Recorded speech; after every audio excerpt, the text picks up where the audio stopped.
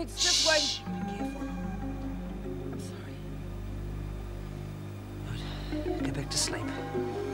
You've done well. I'll see you in the morning. Nice of you to come and see how I was.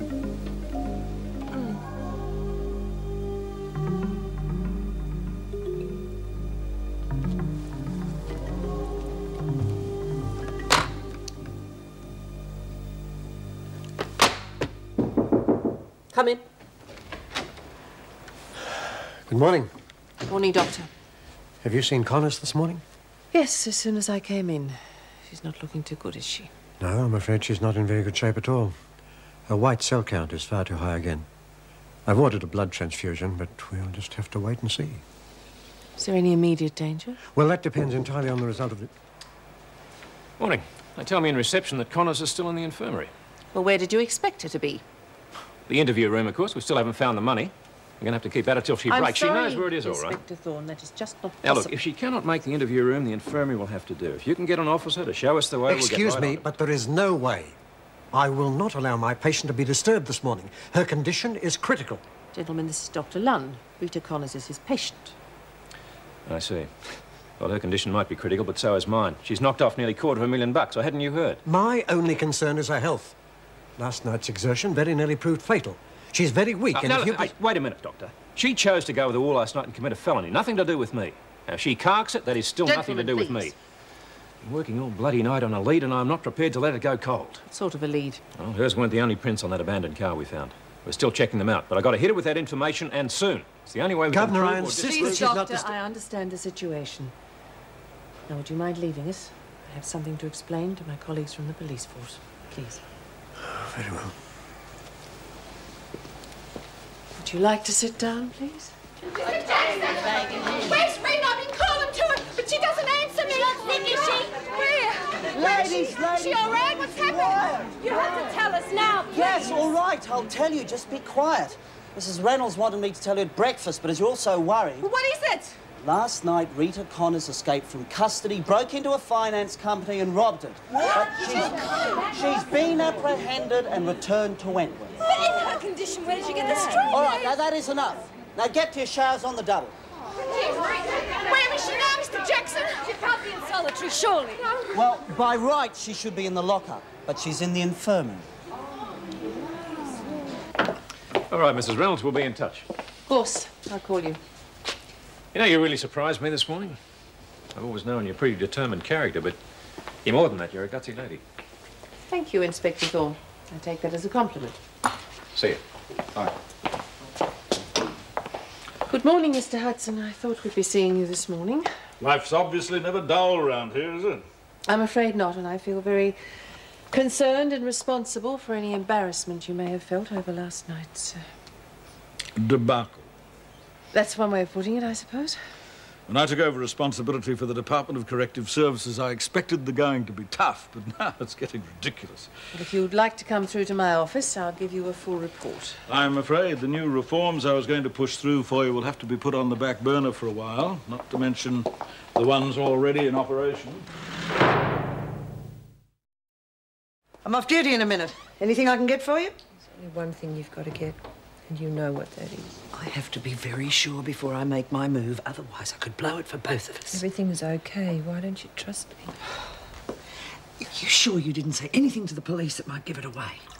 What's the matter with you? You were there the whole time. Uh, not when they picked you up. Did you say anything in the heat of the moment that might give them a clue about I us? I didn't. Everything's cool. They didn't seem to be buying your story about the accomplice last night. They haven't come back, so they must have, mustn't they? Yeah, it's true. I, I just don't think I should rush it. You're like a Harley with a dirty carby. Stop, start, stop, start. You get yourself in there now. Otherwise, some bloody cleaner might just decide to spring clean the toilets, and you never know what they might find. You've got to trust me, Ferguson. I do.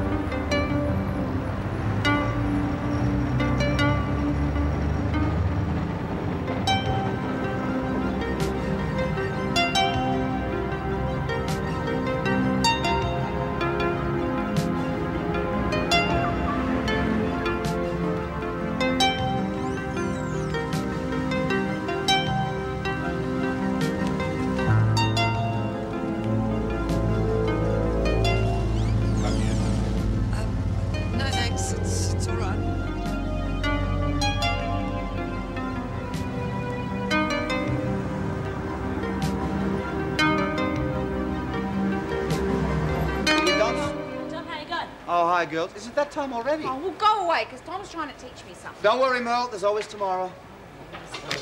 What you doing, Mel? I'm making Rita a card. You want to look? Hey, that's not bad. Better than what I can do. Then what I can do? What? What is what? I don't know. It sounds bloody stupid if you keep on saying it. Don't you worry, Lisa. He's just trying to trick you. Never mind. We'll talk about it at class this afternoon. You're a bit quiet today, Alice. You okay?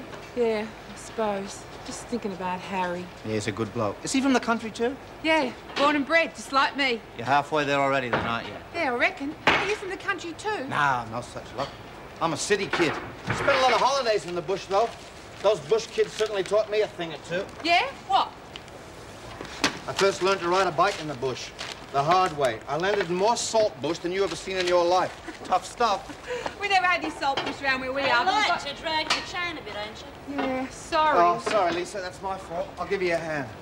Did, uh, did Alice see Rita this morning? Yeah, she's not too good. But better than what you'd expect under the circs. What? Tom, don't start that again. Did you know it was Rita's birthday tomorrow? No, is it? Tom just told me. Oh, beauty. This can be a birthday card. Just like the ones in the shops. Oh, hope she's not 21, though, because they all got keys on and mine hasn't got a key on it. Hey, hey, everyone. How old is Rita? And I'm going to card for her, and you're going to sign your Do you names know? on it. And then I reckon we She's, she's my best mate. I don't even know how old she is. Oh, it's going to be her last birthday. I don't think I can bear it. I know. But you will for Rita's sake, won't you? Hey, Kat! I'm, I'm going to ask Mr. Pringle, because he might even get her a birthday cake. Yay!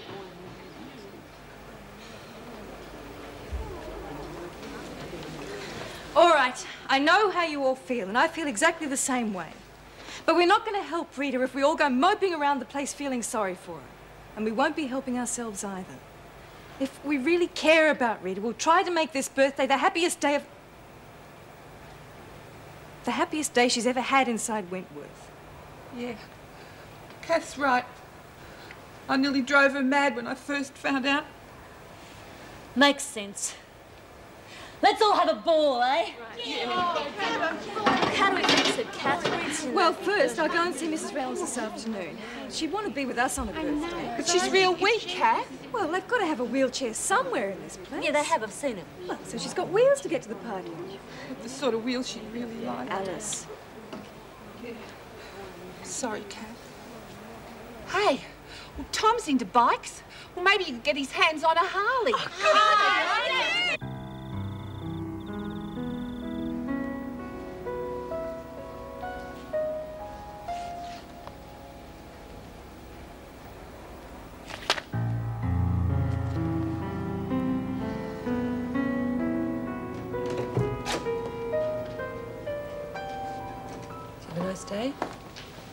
No, not really.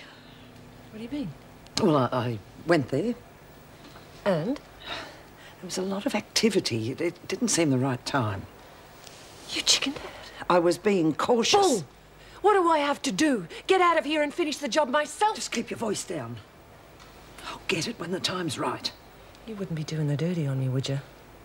I could always arrange for someone more reliable to collect it. I'll collect it in my own time.